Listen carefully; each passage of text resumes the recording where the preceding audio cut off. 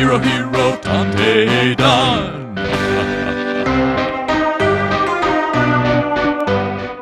なんかもう疲れたな。情報社会。俺はヒロシ、26歳の普通のサラリーマンと言いたいところだが、元サラリーマンだ。脱サラしたとかそういうわけじゃない。返信を催促される連絡ツールや、口喧嘩が絶えない SNS を眺める日々に完全に疲れていた俺は、そういや携帯を手放して世界中を旅することにした。世界を旅するという非日常は本当に毎日が楽しかった。今まで行ってみたくても仕事で行けなかった場所を訪ねる快感に俺はすっかり虜になっていた。そして情報を手放した解放感からいつしかテレビやラジオの情報さえもシャットアウトしていた。はあ？ニューヨークに行けないってどういうことだよ。申し訳ありません。急激な海面上昇によりニューヨークに着陸できません。かなり前にチケットを取っていらっしゃるようですが、申し訳ありません。海面上昇？そんなの知らないぞ。ご存知でないんですか？俺はここで初めて知った。グリーンランドや南極大陸などの地上にある氷が気候変動によって溶け近いうちに海面が60メートル以上上昇するとのことだった。そしてその影響でニューヨークやサンパウロムンバイ上海ジャカルタなどは水没が発生するのだと教えてもらった。おいおいもう行けないってことかよ。俺のニューヨーカーライフが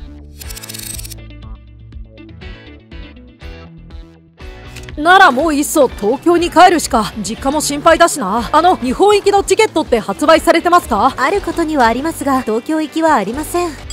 うどこならありますか？いくつか乗り換えが必要ですが、臨時で長野県の信州松本空港に到着することになるかと。信州松本空港？な、なんでそんなところに？どうやら東京も水没の危機にあるらしく、大規模な移動が始まっているそうだった。ありがたいことに、俺の実家のある奈良県、そして岐阜県と空港のある長野県だけは確実に着陸できるようで、おお、久しぶりの日本だ。俺は飛行機を乗り継いで、数日かけてどうにか日本に帰ってくることができた。ヒロシこんな状況になって帰ってくるなんて遅すぎるのよまったく。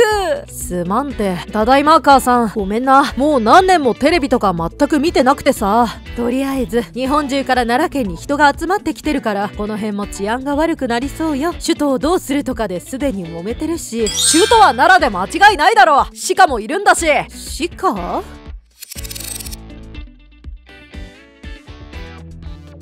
もう少し栄養を考えた土作らないとダメかな。あれから3年が経過した。奈良は今日も穏やかと言いたいところだが、あの日からは世界でいろんなことが起きた。世界の観光名所としても有名なロンドンやベネチア、上海は海に沈んだ。あの広大なオーストラリアも人間が生活できるスペースは従来の15%程度らしい。そして意外だったのはアフリカだ。水没はしていないものの、とんでもない熱波に襲われて居住できるスペースをほとんど失っているようだった。俺たちの住む場所を奪うな移民の入国なんて認めない食料をよこせ被害者なのはみんな同じだろう住む場所、そして食料を失い、命を落とす人は少なくなかった。そして、生きるために戦争が起こることも珍しくはない。痛い、痛いよ息が、息ができない。死ぬまでにもう一度だけ、妻の顔が見たい。気候変動により起きた干ばつが原因で、新しい伝染病が流行した。しかし水没により、医療体制が全く整っておらず、伝染病の原因も解明できないまま、たくさんの人が死んだ。ヒロシ、お米屋さんが来るから、来たらお金渡しておいてね。ああ、わかった。幸い日本は食料と飲料水が確保されているのと、調達先の輸入国が多岐にわたっていることから、そんなに暮らしには困らなかった。でもやっぱり、食料の値段はそれなりに高騰しているから、俺は家庭菜園を始めた。いい感じになってきたな。そろそろ収穫かな。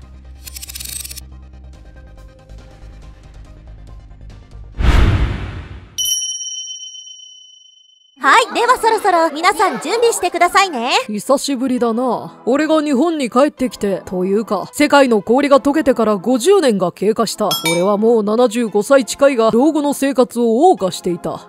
今でも当時訪れた経済崩壊は続いているものの、日本はそこまで大きな打撃を受けていなかったから、老後の生活も、まあ悪いものじゃない。はい、では皆さん一斉に潜りますよ。いよいよか。俺は魚を見るためにスキューバダイビングをするわけではない。そう、俺は。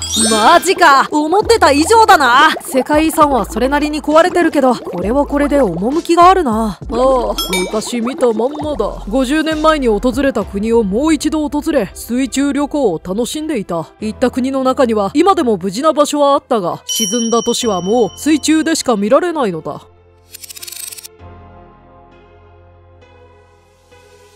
きっと今宇宙に行ったら地球はどう見えるのだろう。世界で当たり前だったハイテク技術も今は海の底だ。温暖化は自分には関係ないと思っていたけど実際に目の当たりにすると凄まじいものだった。スカイツリー一回登っておけばよかったな。たまに昔の日本が恋しくなることがある。放り出したはずなのにな。この動画がいいと思ったら高評価とチャンネル登録をして待っていてくれ。では次の動画でまた会おう。